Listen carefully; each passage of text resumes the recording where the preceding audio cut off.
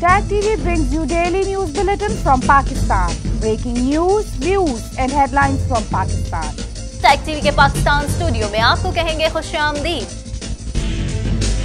एक चाइना से अभी तक कोरोना केस पाकिस्तान में नहीं आया किसी जर्नैल से सवाल पूछो तो कौमी सलामती के ऊपर हमला अब मैंने इनके पीछे जाना अपना ना लायकी को छुपाना अपना मुआशी दहशत गर्दी को छुपाना। कोई उम्मा के मुहावजों ने बहुत सी इन्वेस्टमेंट कर रखी है वहाँ। Do not live in a fool's paradise Bushra Khan Sara Kaukab Farooqui. Nargis Shakeel Tag TV Pakistan.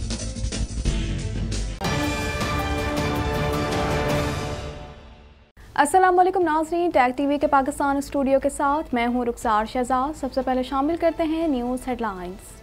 Corona virus के बाद जारी। तीसरी लहर ने मजीद सत्रह जानें निकल ली। गुजशत चौबीस घंटों के दौरान एक हज़ार पाँच सौ सत्रह नए मरीजों का इजाफा हो गया।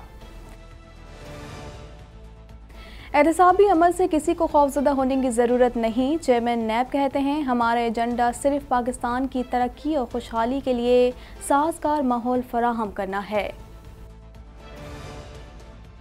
न्यूयॉर्क फ्लैट केस में सबक सदर की जमानत कबल अज गिरफ्तारी मंजूर हो गई। आसिफ अली जरदारी कहते हैं, मियाँ साहब का डोमिसाइल मेरे डोमिसाइल से बेहतर है। तरक्की का पहिया पसमानदा इलाकों की तरफ़ मोड़ दिया। सेहत की सहूलियात अव्वलीन तरजीह है। वजी अला पंजाब कहते हैं, सबक हुक्मरानों ने महरूम इलाकों की पसमानदगी दूर करने के लिए कोई अमली कदम नहीं उठाया। ग्रीनिश हैंड सैनिटाइजर ना ऑयली ना स्टिकी ना बदबू और मुकम्मल अब्जॉर्प्शन और हाथ नरम, मुलायम और साफ़। आज ही अपनी करीबी फार्मेसी से खरीदें या हमारी वेबसाइट पर ऑर्डर करें। www.greenish.com कोरोना वायरस से सत्रह अफराद जाम बहक हो गए, जिसके बाद अमवात की तादाद बाईस हज़ार चार सौ उनहत्तर हो गई। पाकिस्तान में कोरोना के तजीशुदा केसेस की तादाद नौ लाख छियासठ हज़ार सात हो गई। मजीद जानते हैं इस रिपोर्ट में। National command and operation centre के ताज़ा तरीन आदाद शुमार के मुताबिक गुजशत 24 घंटों के दौरान एक हज़ार पाँच सौ सत्रह नए केसेस रिपोर्ट हुए। पंजाब में तीन लाख सैतालीस हज़ार एक सौ अस्सी, सिंध में तीन लाख बयालीस हज़ार दो सौ अट्ठाईस, खैबर पख्तूनख्वा में एक लाख अड़तीस हज़ार सात सौ सत्ताईस, बलोचिस्तान में सत्ताईस हज़ार पाँच सौ दो, गिलगित बल्तिस्तान में छह हज़ार पाँच सौ चौहत्तर, इस्लामाबाद में तिरासी हज़ार एक सौ पचपन, जबकि आज़ाद कश्मीर में बीस हज़ार छह सौ इकतालीस केसेस रिपोर्ट हुए। मुल्क भर में अब तक एक करोड़ अड़तालीस लाख इकसठ हज़ार नौ सौ छब्बीस अफराद के टेस्ट किए गए। गुजशत चौबीस घंटों के दौरान छियालीस हज़ार दो सौ सतासी नए टेस्ट किए गए। अब तक नौ लाख नौ हज़ार पाँच सौ पच्चीस मरीज़ सेहत याब हो चुके हैं, जबकि एक हज़ार नौ सौ इकतालीस मरीजों की हालत तशवीशनाक है। पाकिस्तान में कोरोना से एक दिन में सत्रह अफराद जाबहक हुए, जिसके बाद वायरस से मरने वालों की तादाद बाईस हज़ार चार सौ उनहत्तर हो गई। पंजाब में दस हज़ार सात सौ इक्यानवे, सिंध में पाँच हज़ार पाँच सौ छत्तीस, खैबर पख्तूनख्वा में चार हज़ार तीन सौ छियालीस, इस्लामाबाद में सात सौ इक्यासी, बलोचिस्तान में तीन सौ पंद्रह, गिलगित बल्तिस्तान में एक सौ ग्यारह और आज़ाद कश्मीर में पाँच सौ नवासी मरीज़ जान से हाथ धो बैठे। Chairman NAB justice retired Javed Iqbal का कहना है कि एहतसाबी अमल से किसी को खौफजदा होने की ज़रूरत नहीं है। अरकान पार्लियामेंट और कारोबारी तबके की जानब से मजबत तजवीज़ का खैर मकदम करते हैं।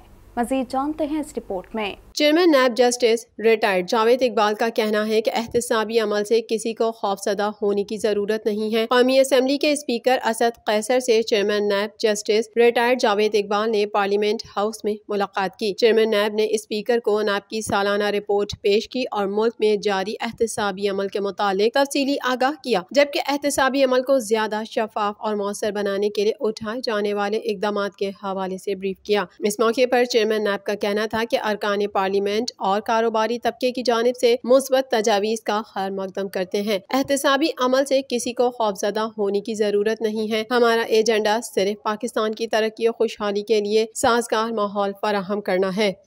इस्लामाबाद हाई कोर्ट ने न्यूयॉर्क फ्लैट केस में आसिफ जरदारी की जमानत कबल अज गिरफ्तारी मंजूर कर ली। मजीद तफसीत इस रिपोर्ट में। इस्लामाबाद हाई कोर्ट ने न्यूयॉर्क फ्लैट केस में आसिफ जरदारी की जमानत कबल गिरफ्तारी मंजूर कर ली। चीफ जस्टिस अथर मनोला की सरबराही में इस्लामाबाद हाई कोर्ट के दो रुकनी बेंच ने न्यूयॉर्क फ्लैट केस में सबक सदर आसिफ अली जरदारी की जमानत कबल गिरफ्तारी की दरख्वास्त की समात की। अदालत ने आसिफ जरदारी की जमानत कबल गिरफ्तारी पाँच लाख रुपए मचलकों के एवज 28 जुलाई तक मंजूर कर ली। अदालत ने chairman NAB DG NAB Pindi और तफ्तीशी अफसर को नोटिस जारी कर दिया और जवाब जमा कराने की हिदायत कर दी। कबल अजी पीपल्स पार्टी के शरीक chairman Asif Zardari Islamabad high court पहुँचे तो सहाफ़ी ने सवाल किया की जरदारी साहब मफाहमत की तरफ़ जा रहे हैं या मजामत की तरफ़? जिस पर जरदारी ने कहा की बिलावल से पूछे। एक सहाफ़ी ने पाकिस्तान पीपल्स पार्टी के शरीक चेयरमैन से सवाल किया कि जरदारी साहब क्या मियाँ साहब को मशवरा नहीं देंगे कि वो भी आ जाएँ?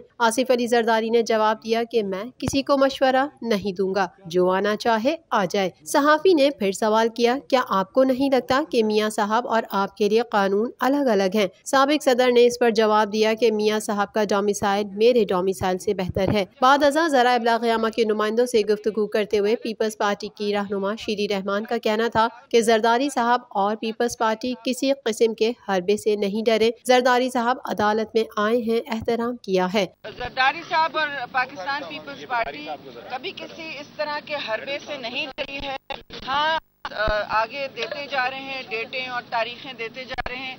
अदालत में भी वो आए हैं और एहतराम किया आला अदालत का। इस मौके पर नैयर बुखारी का कहना था कि अदालत ने तलब किया तो जरदारी साहब पेश हुए। जरदारी साहब के साथ ये सब 1990 से हो रहा है। ओपोजिशन बिल्कुल तितर बितर नहीं है। हम इस हुकूमत के खिलाफ हैं, इस हुकूमत को हटाना चाहते हैं। नैयर बुखारी ने आज़ाद कश्मीर इलेक्शन कमीशन से गुजारिश की कि वो फ्री एंड फेयर इलेक्शन करवाएँ। और आने वाले इंतबात अभी कश्मीर में जो है, हम समझते हैं कि Pakistan peoples party, election commission जो आज़ाद कश्मीर का है, उससे ये मुतालबा करती है कि वफाक के वजरा को, वफाक के प्राइम मिनिस्टर को फ्री एंड फेयर इलेक्शन करने के लिए आप उनको रोकें कि वहाँ पर वो कंपेन पर ना आए। वज़ीर अला पंजाब उस्मान बुजदार ने कहा है कि पसमानदा इलाकों की किस्मत बदल दूँगा, यही मेरा अहद और अज़म है। जनूबी पंजाब के नौजवानों के लिए सूबाई मुलाजमतों में बत्तीस फ़ीसद कोटा मख्त कर रहे हैं। मजीद तफसी जानते हैं इस रिपोर्ट में। वज़ीर अला पंजाब सरदार उस्मान बुजदार ने कहा है कि तरक्की का पहिया पसमानदा इलाकों की तरफ़ मोड़ दिया है। पहली बार बजट में छियासठ फ़ीसद इजाफा किया गया है। सेहत की सहूलियात की फरहमी भी अवलिन तरजीह है। वज़ीर अला पंजाब सरदार उस्मान बुजदार ने तौसा के नवाही इलाके चौकी वाला बरास्ता अटामिक एनर्जी सेंटर सड़क की तमीर के मनसूबे का जायजा लिया। चौकी वाला ऐसी बलोचिस्तान तक बरास्ता जैन बारती सड़क दो फ़ेज़ में बनेगी। वज़ीर अला पंजाब को सड़क की तमीर के अहम मनसूबे के बारे में ब्रीफिंग दी गई। उन्होंने जेर तकमील प्रोजेक्ट में तमीराती मटीरियल और दीगर उमूर का जायजा लिया। इस मौके पर वज़ीर अला पंजाब उस्मान बुजदार का कहना था कि पसमानदा इलाकों की किस्मत बदल दूँगा। यही मेरा अहद और अज़म है। जनूबी पंजाब के नौजवानों के लिए सूबाई मुलाजमतों में बत्तीस फ़ीसद कोटा मुख्त कर रहे हैं। मियावाली और भक्कर को शामिल करने पर कोटा पैंतीस फ़ीसद कर दिया जाएगा। फिर जो सूबाई मुलाजमतों के अंदर जहाँ जनूबी पंजाब का कोटा है उसमें बत्तीस फ़ीसद कोटा भी दिया जाएगा। अगर बकर और मियाँ वाली को शामिल करते हैं उसके ऊपर भी गौर हो रहा है तो फिर ये पैंतीस फ़ीसद होगा। उन्होंने कहा कि सबक हुक्मरानों ने महरूम इलाकों की पसमानदगी दूर करने के लिए कोई अमली कदम नहीं उठाया। लाहौर में बैठ कर फैसले करने वाले दूर दराज इलाकों के मसाइल से यकसर आरी थे। हर जिला और हर तहसील में जाकर मसाइल और ज़रूरियात का जायजा ले रहा हूँ। आज अपने भाइयों के पास उनकी खिदमत के लिए आया हूँ। वज़ीर अला ने इलाके में फलाह आमा की स्कीमों पर काम मजीद तेज़ करने की हिदायत दी। मेरे ख्याल में शायद ये पहली हुकूमत है जो इस तरह के पसमानदा इलाकों की तरफ़ तवज्जो दे रही है और फंड्स फ्राहम कर रही है। और मैं ख़ुद विज़िट कर रहा हूँ और मैं जाता हूँ तहसील डिस्ट्रिक्ट डिवीज़न लेवल पर तमाम पसमानदा इलाकों में, बड़े शहरों में, हमारी पूरी कोशिश है कि इन ये तरक्की का पहिया हमारा चलता रहे। मजीद खबरें भी बुलेटिन का हिस्सा होंगी, मगर इस ब्रेक के बाद। Subscribe TAG TV YouTube channel and press the notification button.